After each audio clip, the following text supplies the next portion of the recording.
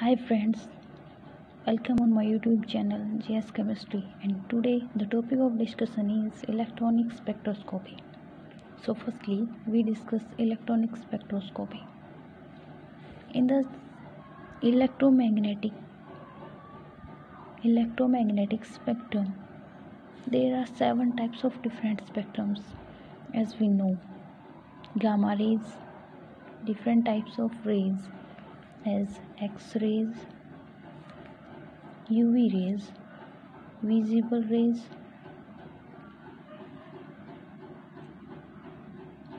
ir microwave and last one is radio wave. In this the frequency having highest value is gamma rays and lowest value is radio wave. So according to the relation between the lambda and nu lambda and nu they are inversely proportional to each other. So what is the consideration? Lambda having highest value. Here here is the highest value of lambda and here is the minimum gamma rays so we also denote the frequency is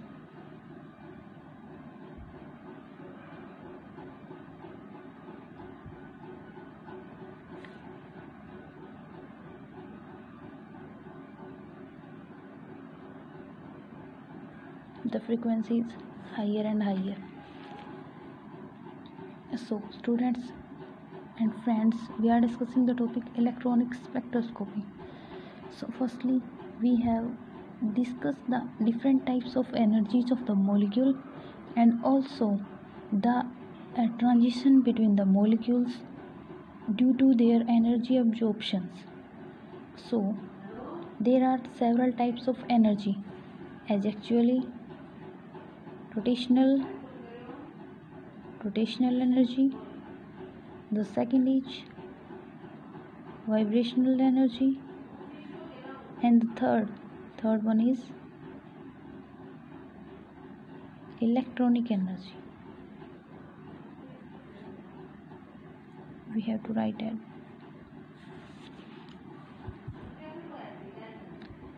As we know that a molecule having several type of energies these are the three named as rotational energy vibrational energy and electronic energy when when these energies these energies are absorbed by a molecule it can undergo a rotational vibrational or electronic transition and depending upon the amount of energy which the molecule have absorbed.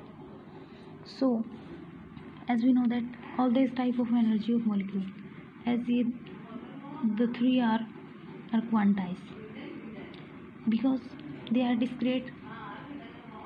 These are only discrete rotational vibrational electronic levels for for molecule excitation. They are discrete. So they are quantized. As each electronic level each electronic level have consisting let's suppose suppose the figure that this is the ground state. This is the ground state. Ground state of a molecule. Let it denote at e naught.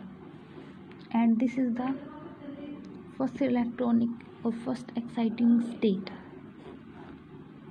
First excited state. And this is ground state of a molecule then then in one electronic transition between one electronic transition there are a number of vibrational uh, spectra and vibrational energy levels. We discussing that in between in between the electronic transitions there are a number of vibrational energy levels. And in between one one vibrational energy level. There are a number of rotational energy levels which consist energy gap which is less than vibrational levels between one vibrational levels.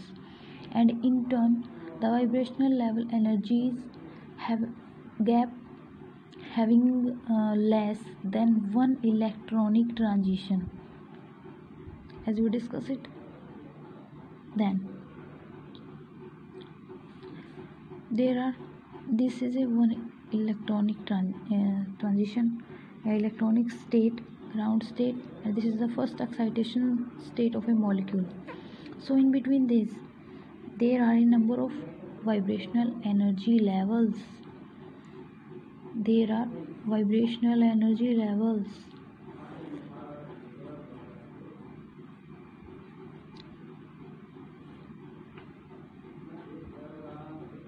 nu naught v1 v naught v1 and v2 in between these these are v2 sorry. This is v2 this is v0 this is v1 and this is v2 so there are different vibrational energy levels. See let example for e0 to e1 there are three vibrational energy levels but in between these vibrational energy levels there are a number of rotational energy levels named as R1, R2 and so on. So these are the molecular energy level for a molecule. So, so it is a molecular energy level. Energy levels. As we know that the molecule absorb energy according to its frequency or the transition between the molecule is according to their energy absorbance. So the molecule having show rotational spectra, rotational spectra, vibrational spectra and electronic spectra. Then the reason then the reason in which rotational, rotational spectra shows. And that reason is microwave region microwave region in this region the rotational spectra we have to see rotational spectra. And in vibrational spectra the reason is we have to see the vibrational spectra and that is IR region means infrared region and in electronic spectra. In UV and visible light yeah rays. In this region the electronic spectra of the molecule is have to we have to see that and in vibrational spectra we have to see it in IR region and rotational spectra we have to see rotational spectra in microwave region.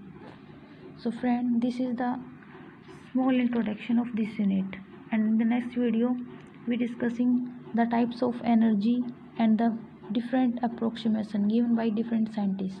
Thank you.